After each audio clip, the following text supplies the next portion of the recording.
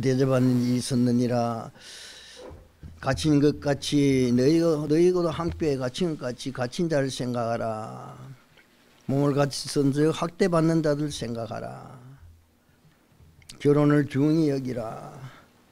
돈을 사랑하지 말라. 이 모든 말씀들이 바로 믿는 자들이 이와 같이 살아야 된다는 것을 우리에게 말씀해 주고 있습니다.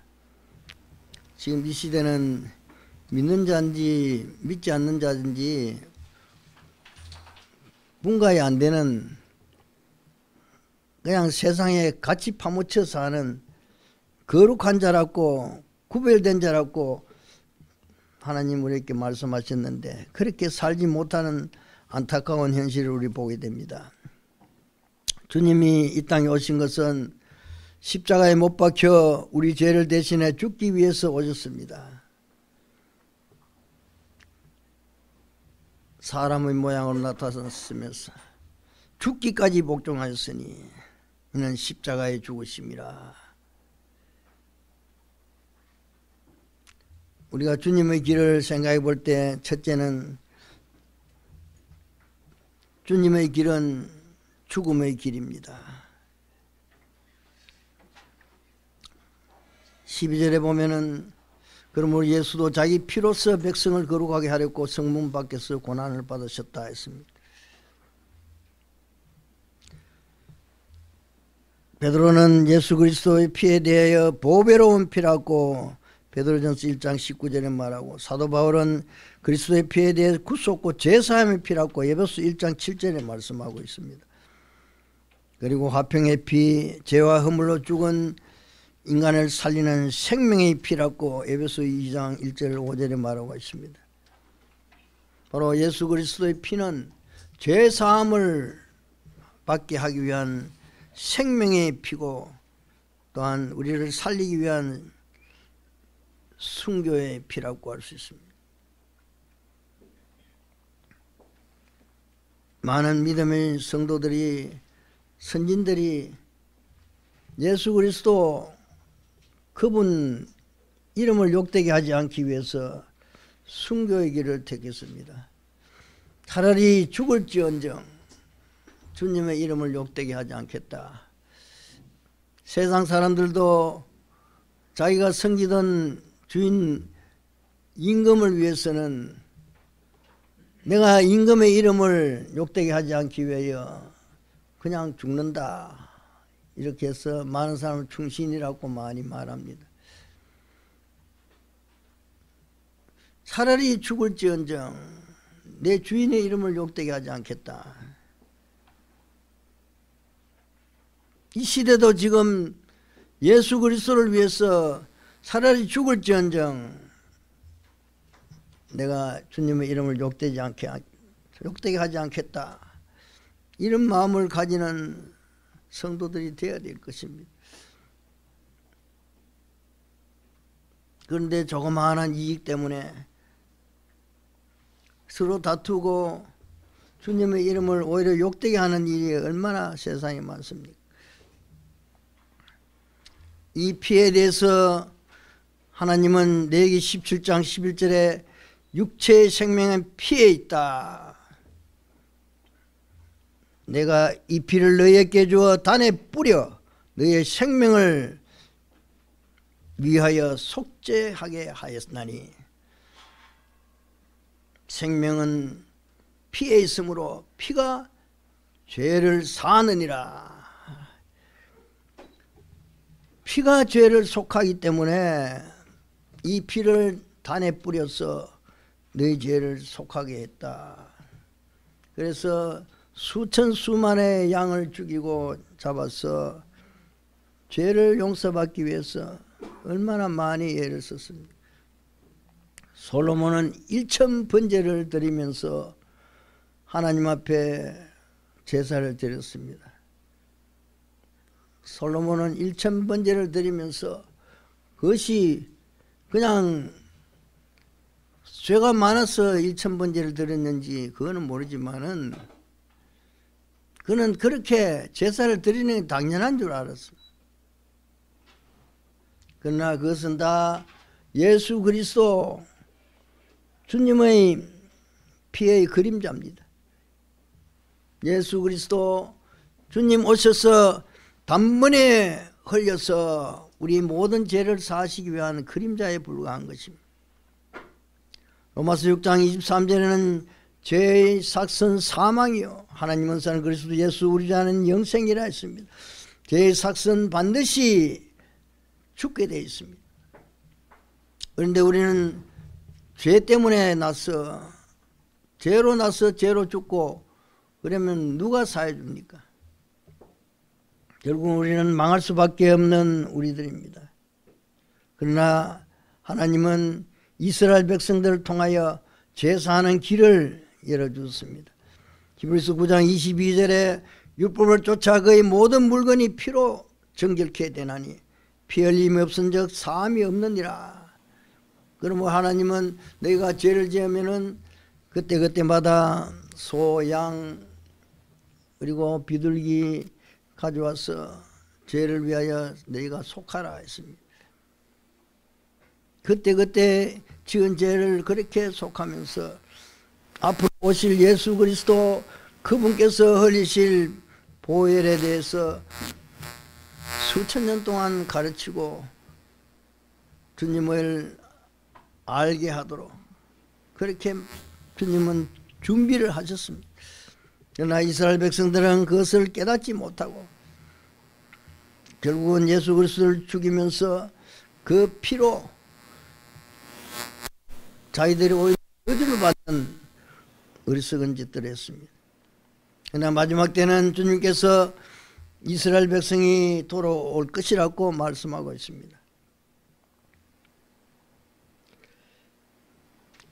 우리는 죄를 없애고 심지어 죽지 않으려고 수양과 돌을 닦고 신선이 되고 하고 면벽 3년, 면벽 10년 금식하고 온갖 인간의 노력을 다 해보지만은 이 죄와 죽음은 피할 수가 없는 것입니다.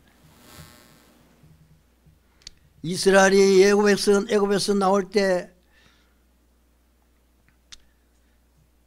출애굽기 12장 13절에 너희는 어린 양을 취할지니 그 양을 잡고 그 피를 양을 먹을 집 좌우 문설주와 인방에 발라 어린 양을 잡아 그 피를 바른 집은 하나님이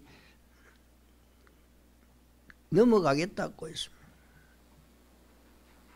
애굽에서 나올 때 이와 같은 역사가 있었으므로 애굽의 장자들은 다 죽고 이스라엘 백성은 나올 수가 있었는 것입니다. 이 피, 하나님은 이 피를 얼마나 중히 여기시는지 피 흘린 자는 반드시 죽는다고.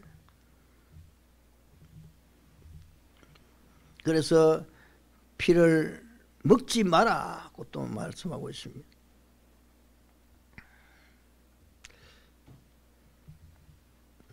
우리가 잘 아는 주님은 이 땅에 오셨을 때 피를 흘려 우리 죄를 대속하기 위하여 오셨습니다. 초대교회 많은 성도들도 예수 그리스도를 위하여 죽기를 각오하고 살았습니다. 이나티우스 교부는 나는 큰 권세를 가지고 세상을 다스리는 것보다 그리스도를 위하여 죽는 것을 더욱 큰 영광으로 한다.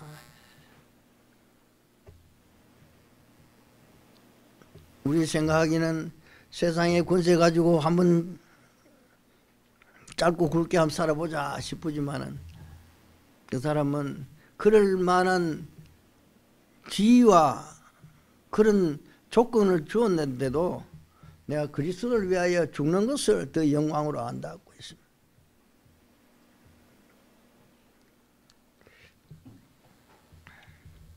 예수께서는 성문 밖에서 고난을 받으셨다고 했습니다. 그래서 우리도 능력을 쥐고 우리도 영문 밖으로 그에게 나아가자. 우리도 따라서 주님을 따라서 그런 삶을 살아보자고 말씀하고 있습니다. 이 치욕, 능욕이라는 것은 온갖 욕설과 모욕과 침뱉음과 무시와 그런 것을 말합니다. 이 십자가의 사형법은 제일 먼저 아수르에서 시작됐습니다. 아시라에서 시작돼서 그것이 바벨론으로 넘어가고 그리고 페니키아로 그리고 로마까지 간 형벌입니다. 이 형벌은 극악무도한 형벌로서 과거에는 짐승을 죽일 때 그와 같이 죽인 것을 사람에게 적용한 것입니다.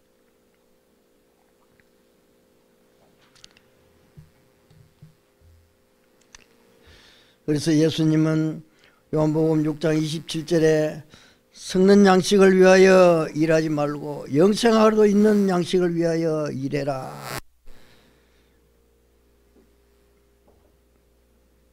그러니까 사람들이 우리가 어떻게 해야 하나님의 일을 하는 겁니까? 영생하도록 하는 양식을 위하여 일을 하려면 어떻게 해야 됩니까? 그때 예수님은 하나님이 보내신 자 곧 예수 그리스도를 믿는 것이 하나님의 일이다.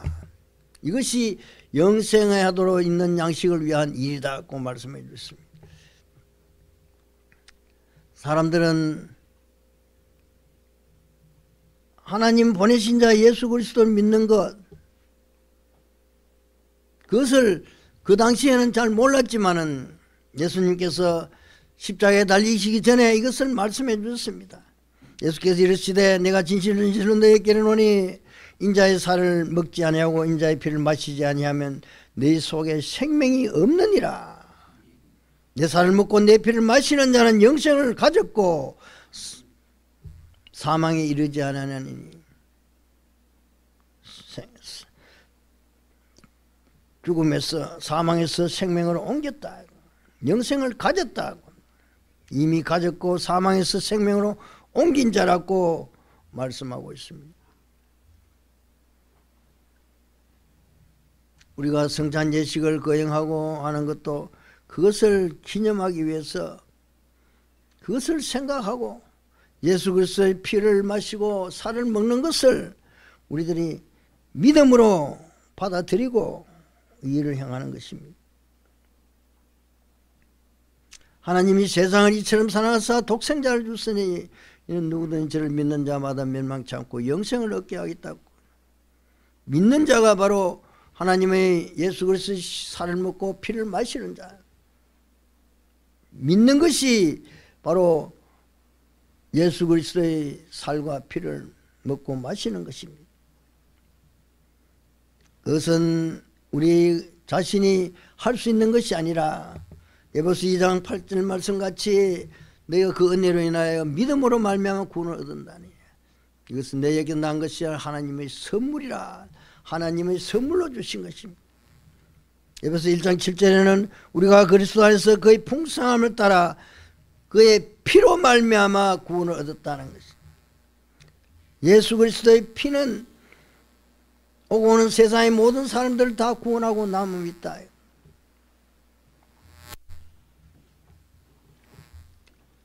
우리가 동물과 사람과 비교해 봐도 사람의 피 한 방울이 얼마나 더 귀합니까? 동물이 수천 마리가 피를 흘린다 해도 사람 한 사람이 피를 흘리고 죽는 거하고 비교가 되겠습니까? 비교할 수도 없죠.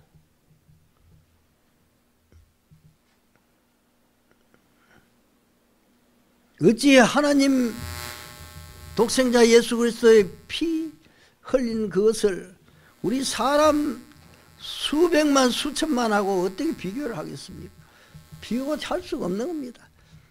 동물과 사람도 비교 비교가 안 되는데 어찌 창조주 하나님 그분과 왜 비교가 할 수 있겠습니까? 이 엄청난 보혈의 공로야말로 우리를 살리고 이 세상을 살리고 우리 모든 죄를 사하고 마귀의 권세에서 능히 구원하실 것을 확실히 믿습니다. 이브리스 9장 14절에 하물며 영원하신 성령으로 말미암아 흠없는, 흠없는 자기를 하나님께 드린 그리스도의 피가 어찌 너희 양심으로 죽은 행실에서 깨끗하게 하며 살아계신 하나님을 승기게 하지 못하겠느냐 성령으로 말미암아 흠없는 자기를 하나님께 드린 예수 그리스도의 피가 어찌 우리를 변화시키지 못하겠나 이 말이에요. 그는 믿으라는 거지.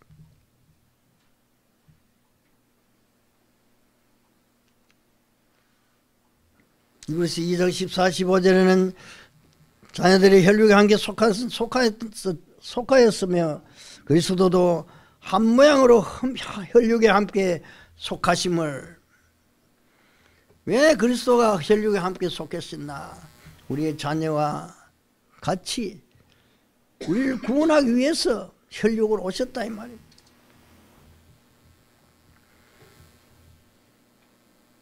만약에 예수님이 사람으로 오지 않고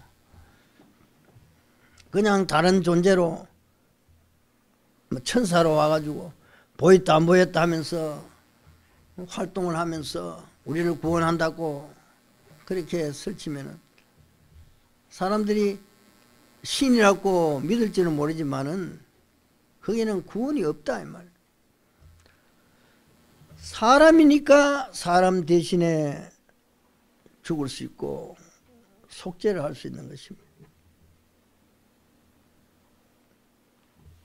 아무리 아버지라도 아들 대신에 사용받을 수 없습니다. 왜냐? 죄 때문에.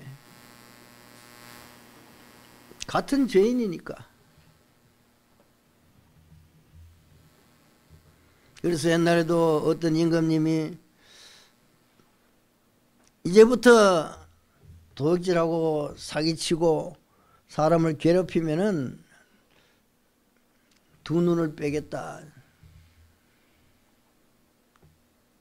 그런데 자기 아들이 왕자가 나가서 난폭한 행동을 사람을 죽였어요. 그래 두 눈을 빼야 되는데 자기 법을 자기가 지켜야 될 거 아닙니까? 그래서 자기 눈 한쪽 빼고 왕자의 눈을 한쪽 뺐다. 사람도 자기 말한 것은 법을 지키기 위해서 그렇게 하는데 하나님이 하신 말씀 피로서 생명이 피해 있으므로 피가 죄를 사한다 말씀하신 하나님이 하신 말씀을 하나님은 지키시기 위하여 우리 죄를 사하기 위하여 독생성자 예수 그리스도를 보내시고 그분이 피로써 우리 죄를 사시기 위하여 있다고 해서 우리 죄 대신에 십자가에 죽었습니다. 골레서 2장 15절의 말씀과 정사와 근세를 벗어버려 밝히 드러내시고 십자가로 승리하셨느니라. 하나님 말씀이 변함이 없고 영원토록 확실하고 그 말씀은 그대로 이루어진다는 것을 스스로 증명해 보여주셨습니다. 죄로 말미암아 죄 가운데 죽고 죄 가운데서 종로로 하던 우리들을 주님이 살리시고 죄에서 노임받고 사망권세에서 이기게 하시기 위하여 십자가에 죽어서 피를 흘려 주셨습니다. 누구든지 주 예수 그리스도의 보혈의 공로를 믿고 하나님 앞에 회개하고 나아가면은 용서받는 것입니다. 지금은 예수 그리스도의 십자가 보혈 회개하라 이런 말을 하면은 사람들이 교회에 와서 위로받기 위한데 일주일 내에 일하다가 이제 좀 쉬고 좀 웃고 위로받기 위해서 왔는데 또 그런 심각한 말을 하느냐 해서 지금 교회에서 십자가와 보혈과 회개에 대해서 말하는 것을 꺼리고 있습니다. 목사님 자신들이 그렇게 하고 있습니다. 가장 핵심되고 이것을 빼면은 실제는 교회에 올 필요도 없는 건데 그것을 빼고 지금 살렸고 지금 크리스찬이라는 허물을 가지고 있습니다. 그러나 하나님은 고린도후서 13장 5절에 너희가 믿음에 있는가 너희 자신을 시험하고 너희 자신을 확정하라. 예수 그리스도께서 너희 안에 계신 것은 너희가 스스로 알지 못하느냐. 그렇지 않으면 너희가 버리운 자라고 있습니다. 근데 자기가 버리운 자인지도 모르고 믿는 자인 채 하면서 하나님을 이용하고 교회를 이용하고 성도들을 이용하고 자기의 지위와 자기의 명예와 권세를 위해서 자기 출세를 위해서 교회에 나온 사람이 얼마나 많습니까? 믿는 채 하는 사람들 자기가 믿는 것이 아닌데도 자기도 믿는 것으로 착각하고 사는 사람들이 지금 너무나 많다 이 말. 그거는 결과를 보면 아는 거예요. 예수 그리스도 이름을 욕되게 알고 살고 있는지 예수 그리스도의 영광에 돌리기 위해서 살고 있는지 그 사람의 삶을 보면은 결과가 나타난다 이 말. 하나님 선지자도 참 선지자인지 거짓 선지자인지 구별하는 것이 그 말한 것이 이루어졌는지 안 이루어졌는지 보고 그것을 참 선지자 거짓 선지자 구별하라 말씀했습니다. 마찬가지로 자기 자신이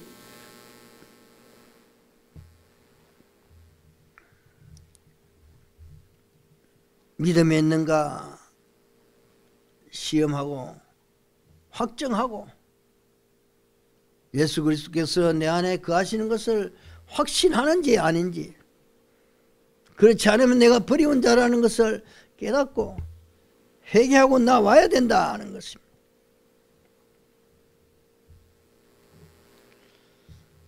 이와 같이 예수 그리스도의 보혈의 공로는 아무리 중죄를 지어서 이 땅에서 도저히 사람으로서는 용서를 받지 못하는 죄라도 하나님은 용서하실 수 있고 십자가 보혈은 깨끗이 지울 수가 있습니다. 옷에 그리스가 발리가 있는데 아무리 비누를 칠하고 물로 아무리 씻고도 안 집니다. 그러나 휘발유 조금만 문대 보면 그냥 다 없어져 버려요. 아주 간단하게 없어지는 우리 죄가 이 죄용같이 불가 도저히 이거는 용서 못 받는다고 싶어가지고 어떤 사람은 그야말로 교회에 나오면서도 내 죄는 용서 못 받는다고 그런 고개를 흔드는 사람들을 내 봤어요. 월남 갔다 월남에서 얼마나 파병 가는 사람 중에서 못되게 했는지 정말로 죽은 시체들에게 또한 월남 사람들에게 얼마나 못된 짓을 했는지 밤에 자꾸 보인다는 거요. 자기가 죽인 것 또한 시체를 얼마나 훼손했는지 그러니까 내 같은 거는 용서 못 받을 거라고. 스스로 그렇게 말하면서 교회 나오면서도 이 위로가 안 되는 거요. 자기가 자신이 그렇게 생각하고 있으니까. 아니 전신에 병이 다 들고 정신에도 병이 들고 온몸에도 병이 들고. 그저 예수 그리스도의 보혈로 잠깐만 씻어보면 나서보는데 그걸 못한다 이게. 자기 생각이 너무 꽉 차가지고 하룻밤이라도 엎드려서 하나님 앞에 회개하고 내가 이와 같은 악한 죄 지었습니다. 그리고 주 예수 그리스도 십자가 보혈로 씻어 주옵소서. 주님 이름으로 용서해 달라고 기도하면 될 건데 세상 사람들의 생각과 똑같아 가지고 되겠나? 그러면서 한 번도 몇십 년을 교회 다니면서 그렇게 하지 못하고 괴로운 중에서 사는 사람들을 봤다. 예수 그리스도의 십자가 보혈은 어떤 죄라도 다 사할 수 있습니다. 다 용서해 줍니다. 누구든지 나와서 얘기하고 십자가 보혈 앞에 무릎 꿇고 하나님 용서해 달라고 주님의 보혈로 씻으면은 어떤 죄라도 다 씻음 받습니다. 우리는 예수 그리스도의 보혈을 사탄막이 쫓는데도 한번 사용해 봤는데 참 효과가 있어요. 예수의 보혈로 예수 그리스도의 피로 물러가라고 하니까 뭐 발광하던 것이 그만 그 자리에서 조용해져 버려. 야 정말 신통하더라고. 야, 이래가지고 막 그뭐 뭐 한마디 예수 그리스도의 피가 얼마나 무서운지 사탄막이 이 귀신의 존재들은 그 앞에는 아예 꼼짝을 못합니다. 예수 그리스도 이름보다 더 겁내더라고. 예수 그리스도 피로 물러가라고. 뭐, 뭐, 그냥 손에 피가 보이는 거지 뭐. 와! 예수님의 보혈 공로는 우리 죄를 다 사합니다. 그리고 오는 사람의 죄를 다 사하고 그 앞에 용서를 비는 사람들은 다 사해 주십니다. 우리도 문득문득 바울 사다와 같이 내가 남은 구원하고 나는 버림받을까 두렵다고 한 바울 사다와 같이 두렵고 떨리는 마음으로 내 구원을 이루라 한 바울 사다와 같이 우리 마음에도 마찬가지 아닙니까? 그런데 내가 마음으로 하나님 법을 육신으로는 죄의 법을 섬기노라 바울 사도는 고백했지 않습니까? 우리도 마찬가지 아닙니까? 그러므로 우리는 항상 참미의 제사를 하나님께 드리고 우리가 하나님 앞에 수시로 기도하며 용서를 빌고 예수 그리스도의 십자가 피를 흘린 자가 바로 내다. 내가 예수를 주겠다는 것을 우리 마음속에 깊이 깨닫고 용서를 비는 마음으로 살아가시길 바랍니다. 그리고 나가서 이 사실을 만민들에게 알리고 용서받지 못할 사람 없다는 것을 알려야 될 것입니다. 지금 용서받지 못한다 해가지고 교회 못하는 사람들은 엄청나게 많을 겁니다. 우리는 이 사실을 증거하면서 참으로 하나님의 귀한 종으로 하나님께 영광 돌리시는 귀한 성도 되시기를 예수 이름으로 축원합니다. 아멘. 아멘 할렐루야 아버지여 우리는 어떻게 살아야 할 것인가 예수님은 피를 흘려 우리를 죄를 대신해 주셨는데 대속해 주셨는데 우리는 어떻게 살아야 할 것인가 아버지 잠시 생각해 보았습니다 하나님이여 주 예수 그리스도 십자가 보혈의 공로를 믿고 오늘도 우리들은 나아갑니다. 아버지 하나님 우리와 동행해 주시고 주님의 능력과 권세로 우리를 새롭게 만들어 주옵소서. 예수님 이름으로 간절히 간구드리옵나이다. 아멘.